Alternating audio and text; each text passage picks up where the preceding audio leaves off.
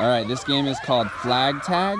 Each student starts with one Velcro belt and two flags, and the object is to run around trying to pull other students' flags. The maximum amount of flags they can have is five. Once they get to five flags, they cannot pull anyone else's flag.